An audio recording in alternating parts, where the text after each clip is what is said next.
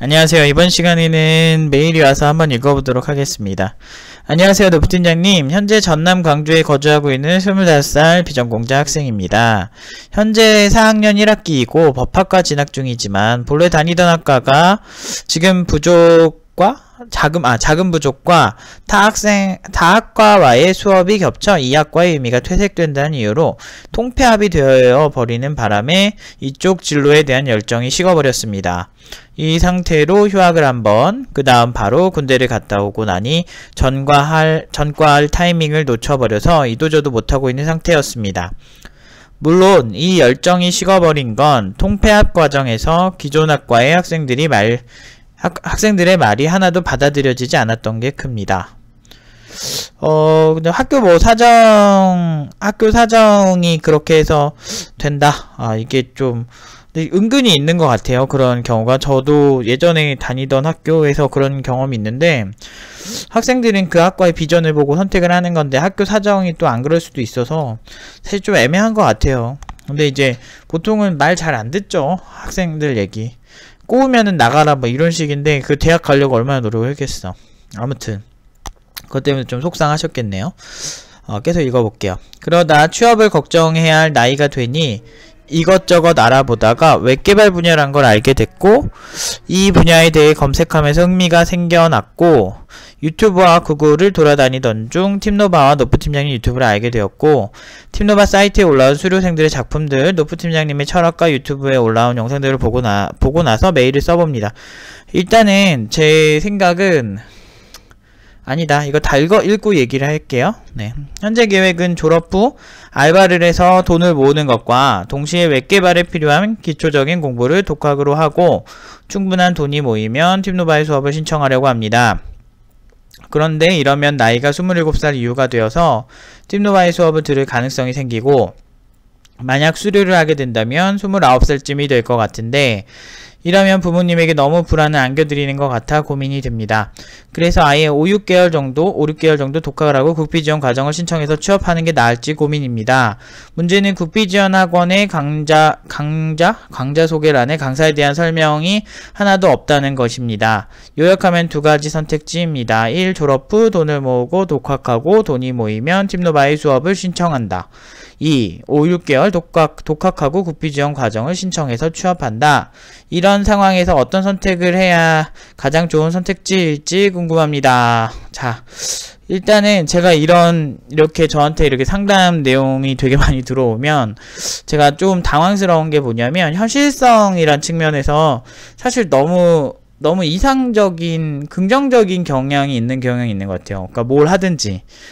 그러니까 왜 긍정적이라고 제가 판단이 됐냐면 일단은 내가 독학을 했을 때 괜찮을 것이다라는 어떤 그런 희망이 있다는 거죠. 근데 사실 어떤 일을 시작하기 전에 힘들 거를 예상은 하지만 실제로 이 정도로 힘들지는 몰랐다라는 생각들이 명쾌하게 나오진 않는 것 같아요. 그러니까 내가 직접 하, 해보지 않는 이상은 그 느낌을 모른다는 거죠. 근데 이제 그럼에도 불구하고 웹개발자에 흥미가 생겼다는 건 분명히 영향을 준 어떤 사람들 또는 글들 뭐 이런 게 있었을 수 있는데 사실 제가 웹개발을 되게 오래 했었어요. 옛날 저는 웹표준 대두되기 이전부터 개발했었고 아예 그 진짜 초기에 개발을 했던 사람으로서 말씀을 드리자면 사실 그렇게 생각하시는 거 만큼의 그러니까 되게 이상적인 그런 부분도 분명히 있는 건 맞는데 뭐, 뭐 웹이 비전이 좋고 막 이런 것 때문에 끌리셨을 거라 생각을 합니다. 보통 그렇게 많이 끌려요. 웹 개발자 수요가 있나요? 뭐 얼마 버나요? 연봉은 어떻고 막 이러면서 이런 측면에서 계산을 하시는 경향이 좀 있는데 뭐 비전도 나쁘지 않고 시장 자체도 크고 좋은데요. 그렇게 생각하시는 것만큼 아름답고 막 매력적인 시장만은 아니에요. 그리고 가장 큰 문제가 웹개발자라고 특정을 하신 부분이 팀노바랑 애초에 조금은 좀 다른 생각을 가지고 있다고 생각하는 게 저는 웹개발자면 딱 웹개발자만 선택을 해서 개발하는 사람들 있잖아요. 그런 사람들의 한계는 명확하다고 보고는 있어요. 왜냐하면 일단 웹개발자를 이해하려면요. 웹브라우저에 대한 이해, 웹서버에 대한 이해를, 이해가 있어야 되는데 그게 문제가 뭐냐면 웹서버는요, multi-thread 프로그래밍을 굉장히 많이 하는, 굉장히 그 코어 자체를 섬세하게 다루는 그런 서버예요. 그래서 코어를 섬세하게 다룬다는 게 무슨 얘기냐면, 뭐, 비동기 처리를 한다든지, 아니면은, 뭐, 뭐, 요즘 뭐, Nginx나 뭐, 이런 뭐, Netty, 뭐, 아니면은 그, 뭐 LiteSpeed, OpenLiteSpeed 뭐 이런 어떤 웹 서버들이 가지는 특성이 뭐냐면 H2O 뭐 이런 것도 그렇고 그 지금 아파치 서버도 이벤트 그러니까 이벤트 그러니까 예전에는 그냥 이렇게 어 동기 처리 방식으로 이렇게 웹 서버가 동작을 했다면 요즘 같은 경우는 요즘도 아니에요. 한 10년 전부터 좀 트렌드로 이제 오게 된 게 비동기 처리. 그러니까, 그러니까 이벤트 드라이븐 방식으로 이제 이 웹서버의 연산을 처리하는 경향이 많이 생겼어요. 그렇게 되면서 C10K 프로블럼이라 그래서 이제 어 10만 명 이상의 접속자가 동시 접속자가 있을 때 생기는 문제에 대해서 대응을 하다 보니까 동기식이 굉장히 비합리적이다 라는 생각이 들어서 이제 비동기 처리라는 게 이제 들어와요. 근데 이제 지금까지 말한 거 뭔 개소리인가 이렇게 싶으실 텐데 어 저도 이 얘기 한 해야 되나 이렇게 싶긴 했는데 아무튼 이런 이런 어떤 트렌드라는 게 있습니다. 그런데 이런 비동기 처리를 공부를 제대로 하려면 사실은 이런 multi-thread 프로그래밍에 대한 이해가 있으면 훨씬 웹서버의 동작 방식에 대해서 알기가 쉬워요. 근데 이제 기존 이제 교육기관들이 가장 큰 문제가 그냥 웹 개발만 알려준다는 거죠. 웹서버 설치하고 DB 붙고 그 다음에 게시판 들어가고 뭐 이런 거만 알려주는데 문제는 그런 수준으로 배워서는 이렇게 미래가 그렇게 막 아름답거나 멋지긴 좀 힘들어요. 아니면은 뭐 싸바싸바 잘해야죠. 뭐. 근데 실제로 제가 이제 웹 개발자들 이렇게 예전에 많이 뽑아보고 하면서 내가 느낀 게 multi-thread 프로그래밍에 대한 이해가 있나 이렇게 봤을 때 없는 경우가 되게 많았던 것 같아요. 제 개인적으로 봤던 분들은. 그래서 되게 별로였어요. 다 별로였고. 그러다 보니까 이제 웹서버가 어떻게 동작하는지 모르니까 그 확장이 안 됩니다. 그래서 장르 하나에 갇혀서 20년, 뭐 15년 이렇게 하시는데 아, 잘할 줄 아는 거 그거밖에 없는 거야. 근데 문제는 뭐냐면 웹브라우저도 그렇고 웹서버도 그렇고 굉장히 많이 발전을 한다는 거죠. 근데 그 발전을 함에 있어서 그 기본 지식이 없으니까 못 가는 거야. 더 못 가요. 제가 뭐 최근에 이제 WebSocket, WebSocket WebSocket을 이렇게 이렇게 막 공부하면서 이렇게 막 보고 있었는데 WebSocket조차도 이제 버전이 바뀌면서 더 발전하는 거예요. 근데 문제는 이 소켓이라는 것 자체가 이미 응용 프로그래밍 그러니까 일반적인 Windows라든지 DOS라든지 뭐 이런 일반적인 그 리눅스에서 사용이 되는 소켓 TCP 또는 UDP 프로그래밍에서 어, 기존에 쓰던 거를 웹서버에 맞게 좀 한 번 더 프로토콜을 개량을 한 거란 말이죠. 근데 이런 일반적인 어플리케이션에서 보여주는 전혀 다른 분야일 것 같은 다른 프로그래밍 분야에 쓰던 기술이 이제 웹서버에 도입이 된다는 거죠. 이렇게 도입이 많이 되면서 굉장히 이제 그 웹 개발자 같은 경우는 공부해야 될 게 굉장히 많아요. 그래서 같은 웹 개발자래도 진짜 수준이 높은 사람과 그렇지 않은 사람이 굉장히 구분이 된다는 거죠. 근데 이게 5, 6개월 배워가지고 5, 6개월을 떠나서 이제 강사 프로필까지 공개 안 할 정도로 뭐 자신이 없나 보죠. 자신이 없거나 아니면 뭐 강사가 계속 바뀌거나 뭐 여러 가지 이유가 있겠지만 저는 에, 저는 기본적으로 어디서 배운다는 거에 있어서는 내가 누군가 누가 날 가르치는지에 대해서는 알아야 된다고 생각을 해요. 어쨌든 그곳을 욕하려고 하는 게 아니고 그냥 그 현실이 그런 거죠. 그래서 학원 출신들에 대한 평가가 기본적으로 깔아 뭉개고 들어가는 거 있죠. 되게 되게 그런 게 이제 학원 운영하는 입장에서는 되게 속상하고 짜증나긴 하지만 그게 사실이니까. 근데 티노바는 그 정도 수준이 아니니까 지금 그 고연봉으로 가는 거거든요. 근데 어쨌든 저희 아까 언급한 건 저희 애들은 다 기본적으로 다 하는 거예요. 굉장히 잘해요. 그 그게 이제 모든 어플리케이션에 제가 25년을 하다 보니까 느껴지는 게 뭐냐면 굉장히 기술들이 연결성이 있어요. 서로 벤치마킹 굉장히 많이 하고 웹서버 그냥 open source 그냥 깨작깨작 하는 하는 것 같고 그냥 뭐 트렌드 트렌디하지 않은 것 같잖아요. 근데 굉장히 트렌디해요. 굉장히 새로운 어떤 프로토콜이나 RFC에서 뭐 나오면 뭐가 어떤 규격이 나오면 그거를 바로바로 바로 도입이 되고 엄청 트렌디하고 엄청 빠릅니다. 특히나 Nginx나 이런 웹서버들 또 그리고 이제 잘 나가는 database management system 같은 경우는 정말 빨라요. 새로운 트렌드나 새로운 그 프로토콜을 받아들이는 속도가. 그리고 그거를 이제 지원하는 폭도 굉장히 넓고요. 그거를 하나하나 이렇게 open source commit이 될 때마다 한 번씩 볼 때가 있는데, 어, 굉장히 아무튼 수준이 높습니다. 그래서 걔는 그, 그 일반 이런 open source 프로젝트 중에서 굉장히 트렌디하게 흘러가는데 이런 트렌디함을 받아들이려면 근본 공부가 잘 돼야 된다는 거죠. 근데 그런 측면에서 아마도 좀 한계가 있을 확률이 높아요. 굉장히 이제 저는 이런 자꾸 사연 자체를 보내면 나름대로 최선을 다 하려고 하긴 하는데요. 좀 답답한 게 그런 거예요. 이제 어떤 어 지금 그런 것 같아요. 아 이게 비슷한 예시가 뭐가 있을까? 어 그런 거 있잖아요. 게임할 때 보면은 레벨 우리가 게임할 때 레, 레, 각 레벨마다 가성비 아이템이 딱 있잖아요. 막 레벨 10에 사야 되는 레벨 10에 이 아이템을 사면 가성비가 되게 좋다 해가지고 레벨 2, 3, 4, 5 때 살 수 있는 무기나 장비들 안 사고 돈 꼬박꼬박 모았다가 레벨 11 되면 딱 사고 막 그러잖아요. 그런 가성비 아이템 같이 이런 기술도 그래요. 내가 지금 당장 어, 아이템을 살 수 있다. 개미야 배짱이 같은 거죠. 내가 지금 배고프다고 아 나 지금 귀찮아서 그냥 스택을 그냥 안 싸고 공부를 안 한 거야. 그냥 적당히 그냥 가서 하는 거죠. 그냥 대충 그냥 DB 붙어가지고. 그리고 취직도 빨리 하면은 잘 될 것 같죠. 뭐 예를 들어서 25살에 취직을 빨리 하면 되게 좋을 것 같잖아요. 근데 취직을 빨리, 저는 취직 빨리 하는 거 나쁘다고 생각은 안 해요. 저도 20살 때부터 해봤는데 문제가 뭐냐면 그렇게 해가지고 그 회사에 다니면서 내가 레벨업을 할 수 있는 상황을 스스로 만들지 못한다.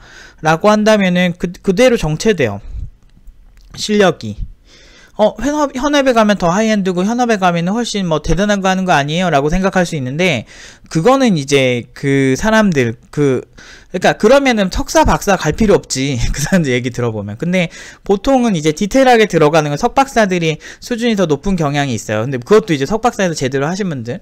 그렇기 때문에 이제 그 돈 많은 사람들이 어떤 현업 개발자라고 다 투자하지 않아요. 현업 개발자 출신이라 다 투자하는 게 아니고 그 중에서 굉장히 잘한 사람들한테 투자를 합니다. 아니면은 박사학위 전데 그 기술에 대한 originality를 가진 사람들한테 자본가들은 투자를 하게 돼 있어요. 왜 그러냐? 현업 개발자 20년 30년 한 사람들한테 투자해도 되잖아요. 근데 안, 안 한다는 거죠. 근데 왜 그러냐?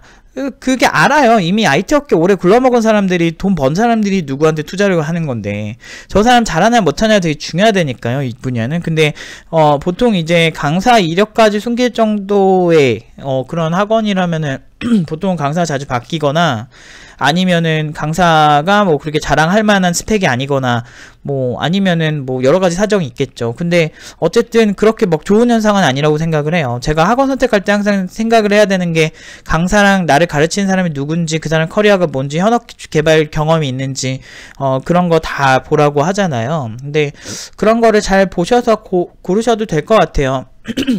그러면은 여기서 이제 핵심은 그거네요. 부모님의 걱정이냐, 아니면은 지금 오래 걸리는 시간적인 측면이 되게 걸리시는 것 같은데, 그러면은 제 생각에는 일단은 그냥 현업 하시는 게 어떨까요? 현업을 일단 하시고, 현업을 하신 다음에 해봐서 부족하면은 도전해보시는 것도 나쁘진 않은 것 같아요. 근데 5, 6개월 독학, 저는 개인적으로 독학을 그렇게 많이 추천을 안 하는 건, 어, 처음에 굿비전이든 뭐든 일단 비슷한 느낌은 받아보고 중도 포기를 하더라도 느낌은 받아보고 그 다음에 독학을 하시는 거를 추천하고 싶어요. 왜냐면 아무리 뭐 학원 구리다 구리다 해도 막 다 그래 현아 그 막 커뮤니티 보면은 독학하라고 막 써 있거든요. 근데 그 사람들 독학 안 했다? 내가 보면 나 그거 100% 알아요. 왜냐면 어디서든 뭔가 해보고 그 경험을 기반으로 독학해보니까 실력이 는 거지.